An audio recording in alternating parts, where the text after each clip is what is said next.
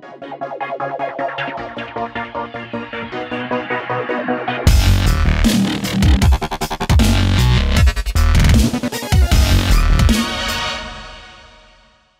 this is Music Tech Help Guy, and welcome to part 13 of my Alchemy video tutorial series in Logic Pro 10. In this video, I'm going to show you guys how you can actually import an image file, an actual PNG image file, into Alchemy and convert an image into sound, which is really cool for creating some kind of cool soundscapes like we're going to do today. Um, we're going to be using the Spectral engine, just like we did uh, in the previous video. So if you haven't watched that, I highly recommend you watch that one first before you dive into this one. So just to give you guys an idea of something you can do with this, um, I've got this sort of soundscapey patch with an arpeggiator on it.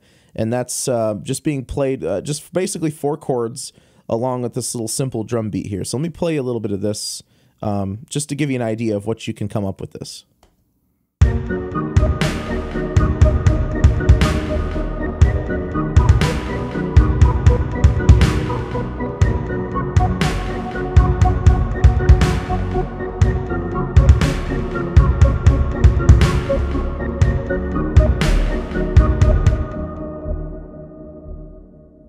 All right, so that's pretty cool. Um, let me turn off the arpeggiator because the arpeggiator is really creating a lot of the motion. Um, with the arpeggiator off, we're going to hear the the soundscape pretty much dry. Well, not dry. It's there's a lot of effects on it, but we're going to hear it without the arpeggiated motion.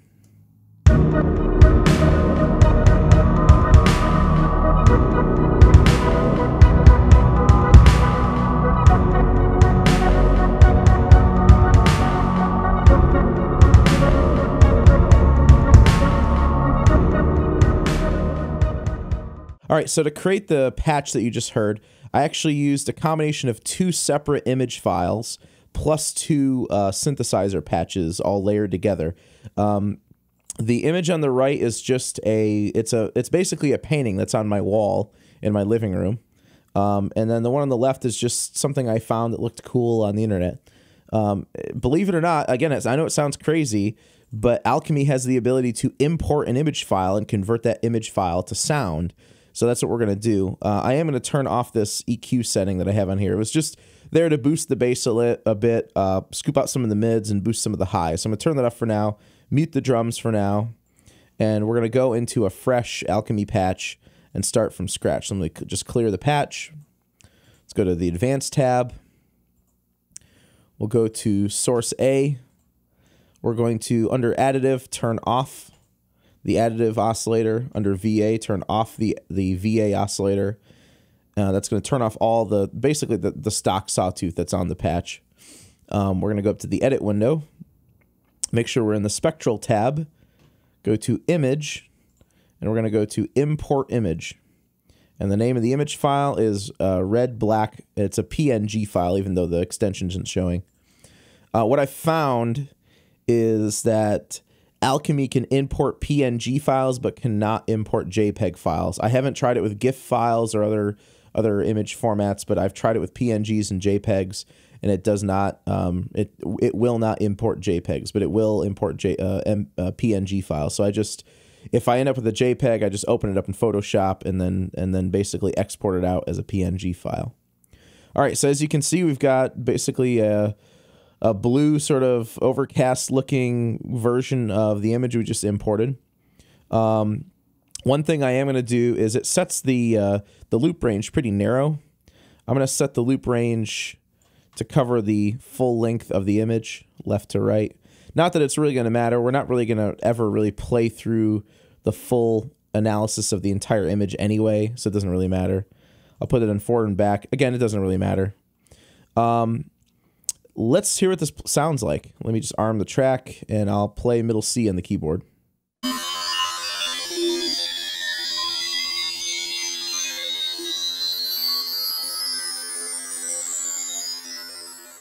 Well, that was not pleasant. Let's play a little lower. Even less pleasant.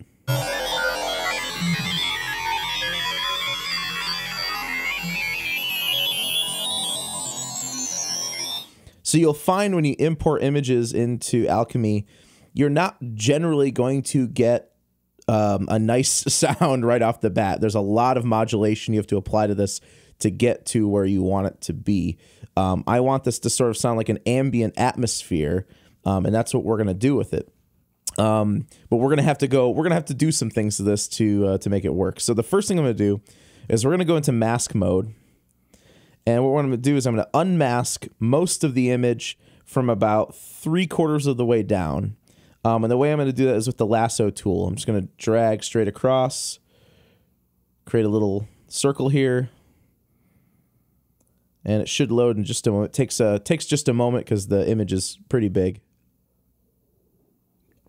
There we go.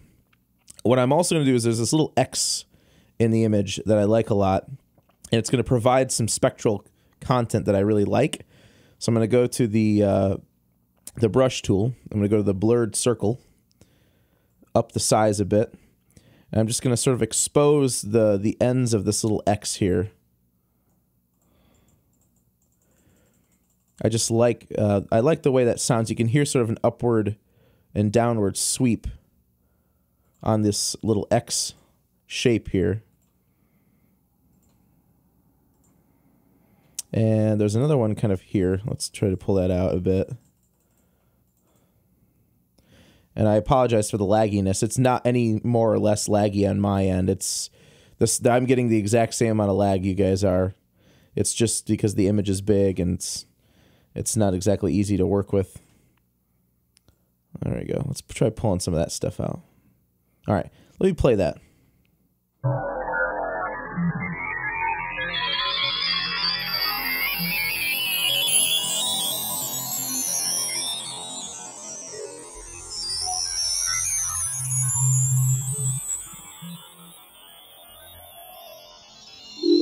Okay, so it's not exactly uh, great sounding, but it's a little bit better than than before.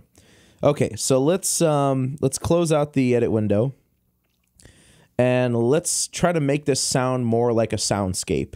Uh, the first thing I'm going to do is I'm going to uh, pull in the high cut and pull up the low cut.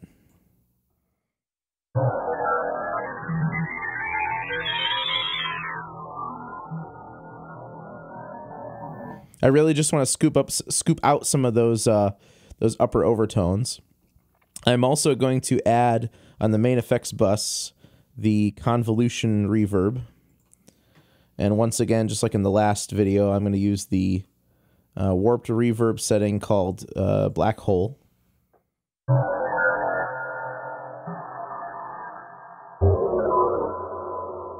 Let's also go to the main uh, envelope and we'll pull the attack up a, a bit, pull the re release out a bit. There we go. And then another thing I'm going to do is I'm going to modulate the high and low frequency um, cut on the bandpass filter. So I'm going to right click on the high cut, go to add modulation, go to LFO1. And LFO1 is going to, I'm going to pull the depth down a bit. And let's modulate this with something that's a little more random looking. Maybe something like that.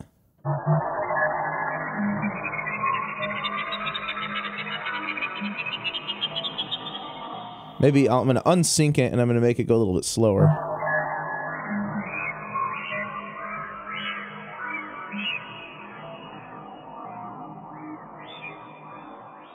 Maybe even a little bit slower.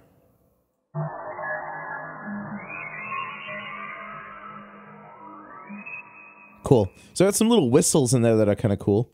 Uh, let's go to the low pass, uh, the low frequency cut, I should say.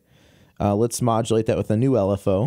And we'll do the same thing. We'll pull the depth down quite a bit and we'll choose sort of like a very slow, unsynced um, LFO, something that's it's a little bit more random looking. There we go.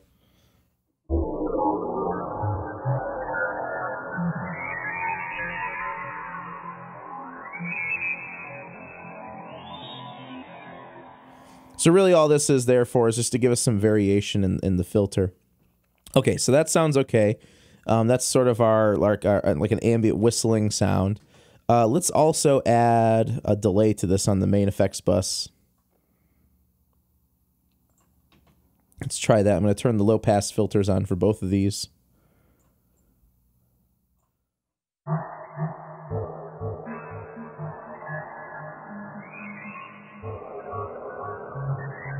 Cool. It sounds like uh, R2D2 is haunting me in my sleep, but that's that's okay. That works just fine. All right, cool. So we've got that initial sound. Let's layer that with another sound. Let me just choose the. I'm going to choose a sawtooth for uh, source B. Um, on this one, I'm going to pull up the number of voices, detune it a bit. Uh, I'm going to pull in the low pass filter quite a bit. This is going to be like a bass voice, like a drone bass. Um, and let's pull it. Go ahead and pull this down an octave, so the semitones will go down to negative 12. And let's just uh, solo this now by itself, just see what it sounds like.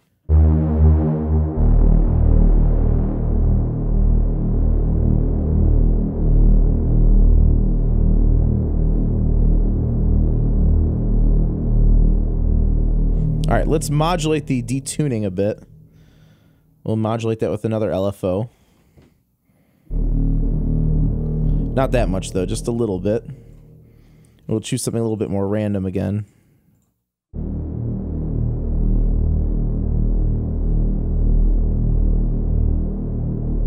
There we go. Yeah, I think we'll leave the sync alone. That's good enough for now. Uh, one thing I am going to do is I'm going to create a send. Instead of going to uh, filter 1 and filter 2, I'm going to go to filter 1 effects A. And down on effects A, I'm going to add a second type of reverb just for the bass here. So go to convolution reverb. We use um, large spaces, plate reverbs. And we'll use the, let's try the, the big plate.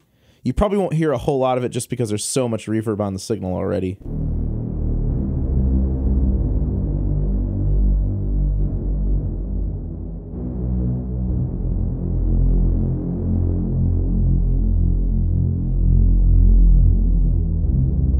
I just want it to be very, very ambient. I really don't even really want to hear the buzz of the saw in there um, too much. All right, voice C. Let's go up to, actually, first let's listen to voice uh, A and B together.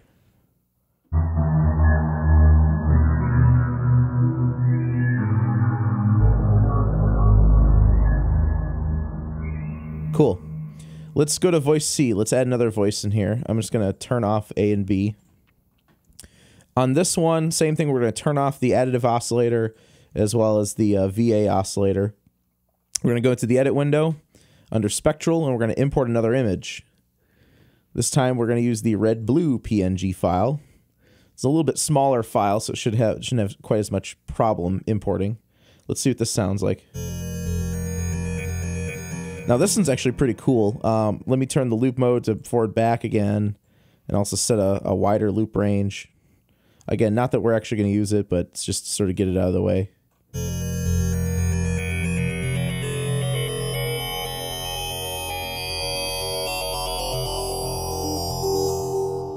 Now that one's actually really cool sounding. I'm not going to mask it or anything. I'm just going to leave it as is. Uh, I am going to filter it a bit, cut some of the high end out.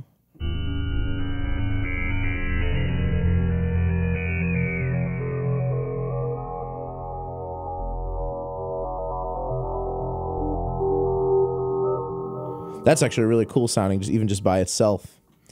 And then lastly, uh, well, first of all, let's listen to A, B, and C all at the same time now.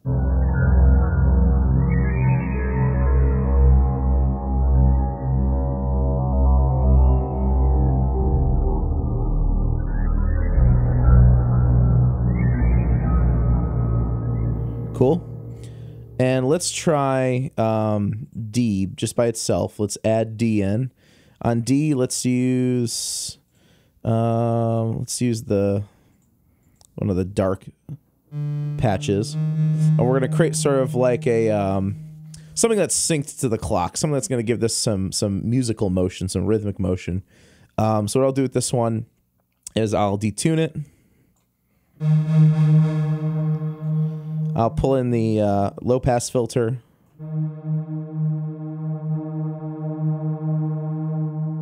And what I'll do is I'll take the volume and I'm going to modulate that with a sequencer. Go sequencer one here. Uh, I'm just going to go ahead and just try to randomize it. I don't want this, any swing in it though. I'll pull the attack up so it's a little bit softer.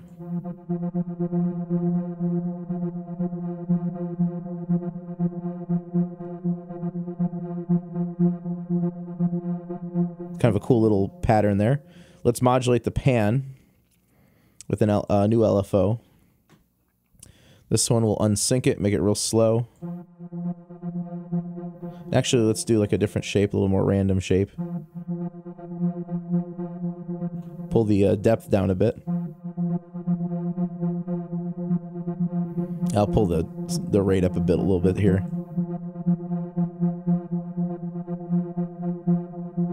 Another thing I'm going to do with this, this one is I'm going to I'm going to modulate the sync knob, which I really like to do. Gives it kind of a cool effect like that. So let's right click on that. We'll modulate that with a, a fifth LFO. Pull the depth down a little bit. We'll make this one really, really slow. And let's try a different shape here.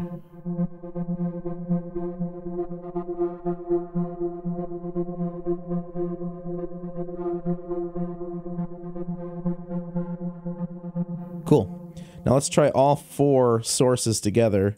Let's see what we've got. So I think the very first one, the whistly one's a little too loud. I'm going to pull that down. And I think um, source D, let's try bumping that up two octaves, 24 semitones.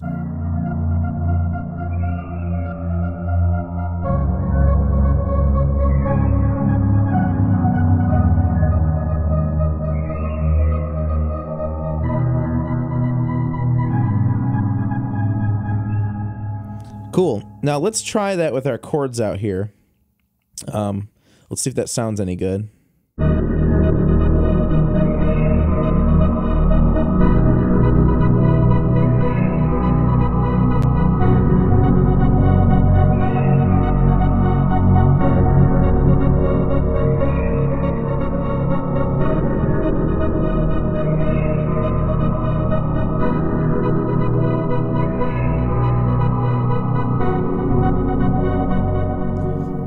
Um, a little the low end out and some of the some of the voices.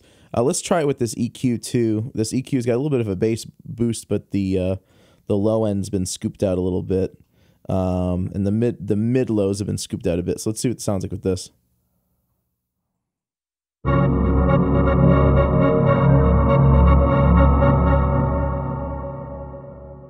Let's try it from the beginning again.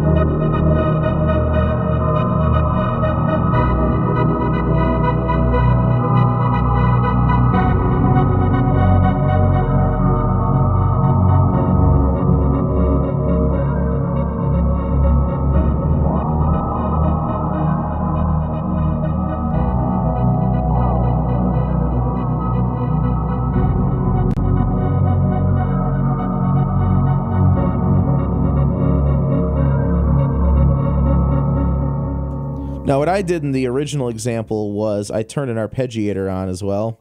Just turned it on in the um, the down mode, um, just to see what this did for us. Let's see what that does for this patch.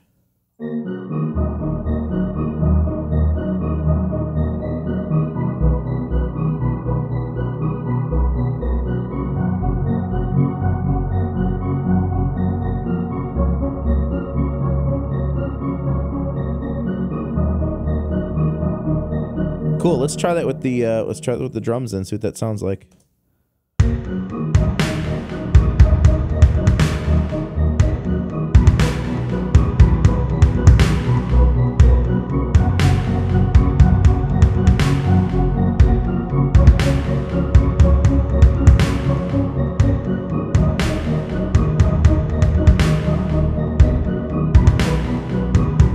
Now I realize I'm not really playing this like a soundscape. Um, if I were to play this like a soundscape, it really wouldn't have an arpeggiator on it. It really wouldn't have anything that lends to sort of like a rhythmic feel. It'd be more about just like landing on a drone and staying on that drone and playing a few notes and then moving to another chord or another bass note and slowly evolving the soundscape along. So soundscapes really at their at their heart are slow moving entities. They're not like the chord progression for a song that changes every beat or every bar or every couple of bars. So Uh, let me just try something with the arpeggiator off here. And I'm just going to try to play around with it, and uh, we'll close out the video with that. Let me try pulling this dark patch down an octave too, because it seems to be a bit too bright, and I'll play around with a little something and see if I can't create something that's a little bit more soundscapey.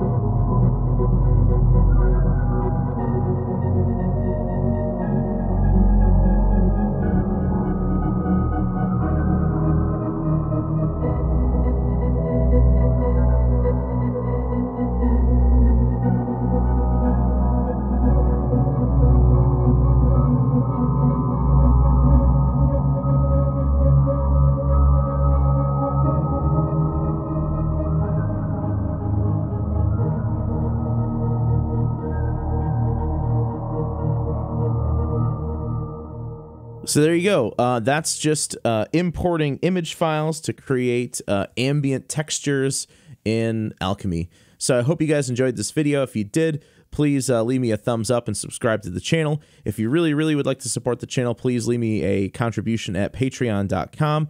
Our uh, site address at Patreon is patreon.com forward slash music tech help guy. So once again, thanks for the support and thanks for watching.